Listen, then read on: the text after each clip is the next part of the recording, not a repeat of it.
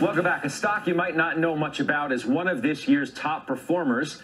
Of course, if you've been paying attention to our unusual activity segment with John and Pete, the name Sea Limited might not be that far under the radar. The stock also happens to be one of the top investment ideas from SumZero, an investment idea platform for buy-side professionals with more than 16,000 members globally. Divya Narendra is the CEO and the co-founder of SumZero. He also co-founded the company that would go on to be Facebook. Joe Flaum is currently an investment partner at Crane Capital. His resume includes stints at Soros, Fortress, and Tiger Management, a seeded fund there.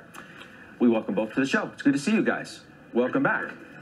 Sea Limited is your is your big pick, right, Joe? That's right. So this is a company we came across uh, a little bit after the IPO in 2018. Um, so for folks that don't know what they do, it's an e-commerce and video game platform that's based in Singapore. Um, folks can think about it as an Amazon plus Activision for Southeast Asia. And uh, there's been a couple interesting developments over the past year that uh, have played out, and the thesis has uh, has started to work quite nicely. What's the stock done this year? Right, we, we said it's uh, it's like beating the S and P, oh, yeah. almost tenfold. It's been up, you know, almost 200% this year. Um, and so when we found the opportunity, there were really two components to the thesis that we thought were very interesting. The first was on the video game side, they were self developing their own game for the first time, and this ended up being a global hit. Uh, and so at the time when we found the stock, they weren't monetizing that at all. And then over this year, that's largely played out, and you've seen the video game business quadruple um, in terms of EBITDA. And so that's largely what um, has driven the stock higher, in our opinion. But there's still another element to the story, which is this very fast growing e commerce business, which we still think is quite attractive going so, forward. So the 200% is just getting started in, as far as you're concerned. Look, I mean, you know, this is an emerging market stock, right? So that's associated with a lot of potential volatility for a number of reasons. Um, but yes, if you're a medium to long-term investor and you want to think about e-commerce growth in uh, in Southeast Asia, today it's very underpenetrated. So when you look at uh, the percentage of e-commerce uh, of retail, it's about five percent. This compares to about 20% when you look at you know more developed Asian economies like China. So they should be able to participate as the the dominant player in the region over the next handful of years. Yeah. You guys, as I said, um, yep. this name Hats is, off to you, Joe. This is known to our viewers because of you guys. Yep, we, we've seen time and time again institutions coming in that want a leveraged bet on this stock, on Sea Limited. They were coming in when the stock was 20. They were coming in when it was 24, when it was 28, when it's 30. You know, they've been buying strikes all the way up into the 40s now.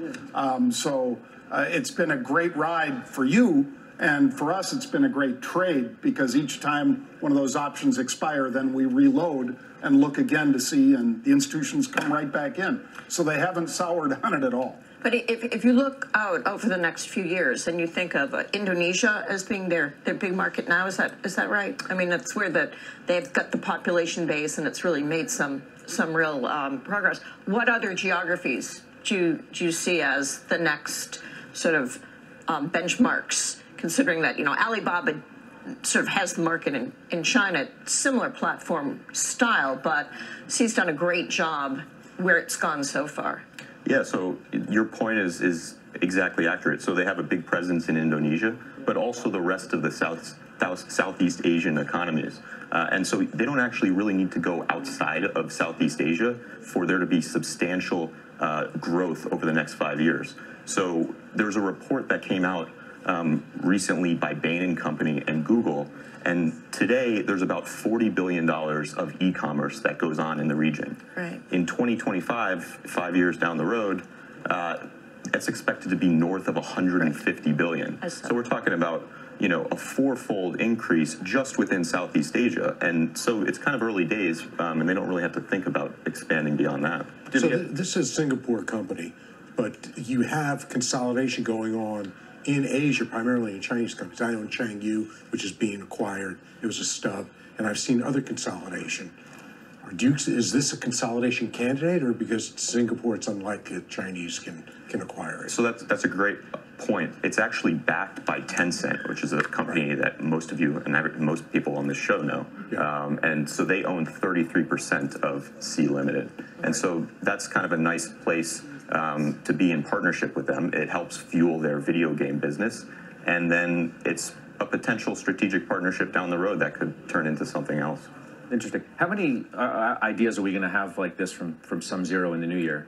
That's a good question. Um, no, I think Two what's- hundred percent specifically. yeah, I mean, I mean, I think what's interesting is that it was the most searched name on the site um, for the year, um, and there were numerous ideas on Sea. And when we were looking at it, we were like thinking, gosh, like this isn't talked about that much in the mainstream.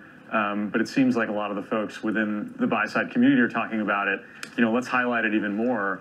Um, and you know, I think it's really resonated as an example of uh, a somewhat under the radar name where there's a lot of upside. Um, you know, over the coming years. Look, it's not like you know the smart money doesn't know the name. I, I was looking at the, uh, the the shareholder base. You've got Tiger in there, Sachem Head, um, Lone Pine, Light Street, Coatue, Whale Rock, D.E. Shaw, Point Seventy Two, Renaissance. Right? I mean, some of the some of the marquee names in the business. No, I, I think I think um, that's one of the reasons why why we you know we thought we'd bring it up to you guys, kind of in the context of the fundamentals of the business, um, but also kind of the, the runway that it has, um, you know, in its two main verticals. Um, and actually, the third, which wasn't mentioned, was payments, uh, which um, you know I think is, is also interesting. AirPay. to talk about yeah, through AirPay, yeah. Yeah, no, for sure. That's an interesting, uh, especially in the region where there's a lot of folks that aren't banked. So this is uh, an instrumental part of kind of what's driving the e-commerce business. So we're not really ascribing much value to it, but more it's a business that over time could be worth a lot, but also just really drives the e-commerce business. Let me ask you uh, quickly before um, I, I go back to Divya on, on something. You, you, you, as we said, have a have a great pedigree. Um, analyst at Soros, Tiger Management, seeded hedge fund, et cetera, et cetera, et cetera. Uh, how's the? Do you have a market view heading into the new year? Generally speaking, how do you feel about where the market is and where you think it may go?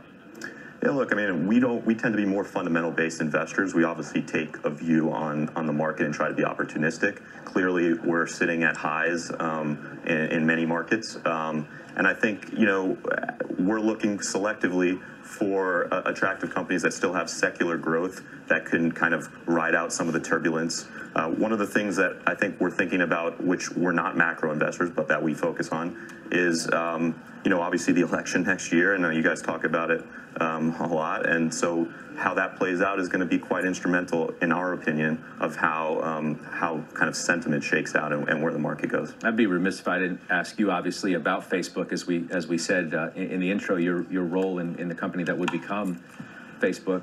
We talked about it earlier. Stock's up fifty percent this year. Um, maybe you did see that coming because you never wavered off of your view about where Facebook would go, even in the face of the fire that it took on through the better part of the, the first half of the year. Yeah, I mean, I, if you just look at the engagement numbers on, on, you know, on the various apps that they own, or the you know various apps that are in their portfolio, they haven't wavered. I, I think that's kind of the you know maybe the most important thing to to focus on, um, you know, for investors to get away from a lot of the noise around, uh, you know, what what uh, what's in the media about the company. I mean, it's clearly probably the most scrutinized company since Enron in terms of um, sort of the, the negativity around the name. But those are exactly the kinds of opportunities that I think investors need to, to focus on where you, know, you, you can have an opportunity to own a stock at a significant discount. Obviously, since the run up, uh, there's less of an opportunity than there was when the stock was, you know, sure. 130s. But still, um, you know, I think the company is firing on all cylinders. Um, you know, there's a lot of really interesting stuff that's I don't think talked about that much in the press relating to some of their longer term initiatives um, in the AR VR space. Um, they just acquired a company called CTRL-labs uh, that you know tries to figure out how the brain can influence machines and it's just incredible stuff that can really create a roadmap 10 years down the road. So I think of Facebook, the Blue app, as like Facebook 1.0. Instagram to me is sort of Facebook 2.0 I'm sure Mark is thinking about, you know, how to keep that relevant. Is it going to be relevant forever? Who knows? Probably not. Isn't that the jewel now? it, it is the jewel. It's a runaway freight train. When you think about the amount of um, e-commerce that's happening through Instagram and just the potential there for brands to really um, get the exposure they need um, and the monetization that results from that, um, I think it has a long way to go. But you still have WhatsApp and Messenger that are virtually unmonetized. Um, and then you have you know, kind of other uh, things like Portal and, and, and hardware and, and, and a lot of the stuff that's part of that Skunkworks operation of theirs that we never hear about. Um, and I think uh, if you're interested in, you know, again, that medium to long term horizon and you want to own something that has a runway, I, I think. Divya, what do they do with their cash? That was one of the topics, and everybody brings this up all the time about Facebook, is they've got all this cash and they really can't go out and buy people because everybody's against them now. They're the Yeah. bad guy out there, right? So what do they do with the cash, in your opinion? I mean, look, I think they keep investing in R and D. I, I think kind of the tech mo is to to sit on cash uh, un, until you reach a certain maturity level where you you, you do an Apple like dividend. So I, I would expect at some point in the future you'll probably see a Facebook dividend. They do have a repurchase um, program that's pretty significant, but I, I don't think they're going to do like a giant special dividend anytime soon. Um, I, I do think that once in a while they'll come across, you know, a significant investment opportunity where they'll be able to deploy, um, you know, not all of it, but but but a significant portion of that capital, especially after some of this regulatory scrutiny uh, tapers down. Yeah, it's been uh, it's been good having you guys back. Joe, it's nice to see you. Divya, we'll see you in the new year. I hope. Thanks a lot. All right. Some options bulls are making.